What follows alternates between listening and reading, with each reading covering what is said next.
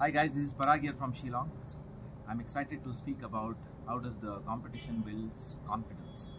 Now, it's been a while we are conducting competitions in uh, India in uh, various cities and various states and uh, we see very different people coming from different background and not necessarily these people are want to really develop their kettlebell sport career but at times are these people who want to increase their confidence and personally I also feel that uh, when you are getting into a competitive mode you primarily aim to build the confidence but not to really get into a area where you want to defeat someone and win. Personally when you ask me that is what I preach. Beating the numbers and getting into the kettlebell sport getting into the medal should be a byproduct is personally what I feel and it comes. But when you actually shift your focus on getting into a competitive mode and getting to beat someone and progress shifts your entire mindset. The main purpose for the competition has to be you have to help it to build the confidence. Like yesterday we had Brian whose age is 57 and he was exposed to kettlebells and kettlebell sport a couple of months back by one of our leader Sandeep from Shillong. I am based in Shillong today. I'm in Shillong today. So I wanted to make this special video because at the age of 57 when I was speaking to him he said I was into exercise but kettlebell lifting kettlebell since last couple of months has helped me to build my confidence in my work and that is what I'm trying to preach.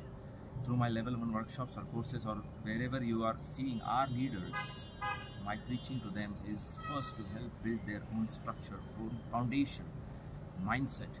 Competition comes later. At times I see many people getting into the competition mode when they are not really ready so I would first insist or what would be my suggestion based on the experience that the first phase of the training has to be to build the confidence has to get to understand the technique correct has to use the kettlebells or use your trainings to get your structural foundation first correct so that you do not land up into any kind of injury. In India, unlike other countries, uh, we really get exposed to fitness very later in our age when we really get exposed to these exercises when we really have some problem. Say, for example, uh, obesity, one of the problems. Losing the weight is also one of the challenge.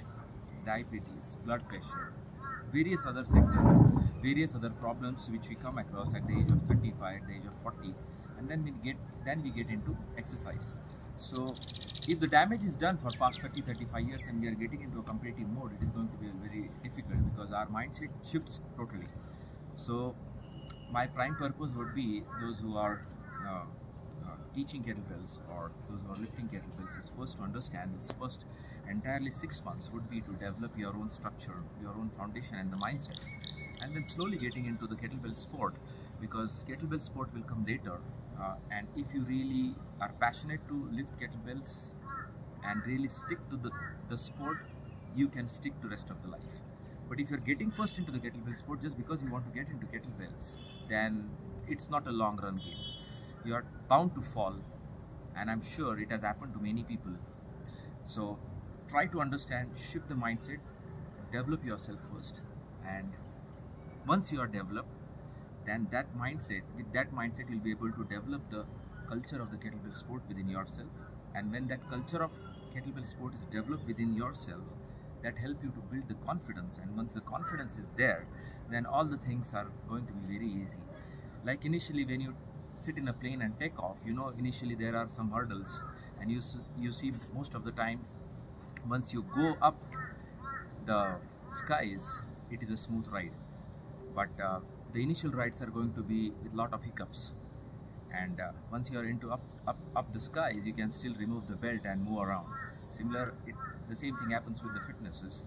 Your initial building of the fitness has to be taken care by your coach has to be taken care by yourself and the most important part is to understand the correct mindset before you get into the sport. Any sport not not only kettlebells whether it's powerlifting whether it's also bodybuilding at times.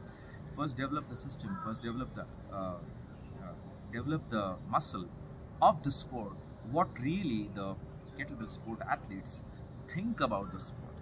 And that is why the podcast is also there for you to understand when I'm trying to give you, uh, when I'm trying to share all this information via podcast, is to enter into the mind of the best athletes and to really make you understand what do really they think about it.